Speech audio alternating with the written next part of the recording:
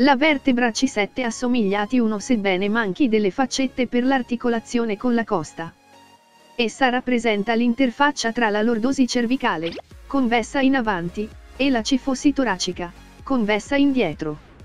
Possiede ampi processi trasversi per le inserzioni muscolari e ridotti o assenti fori trasversi.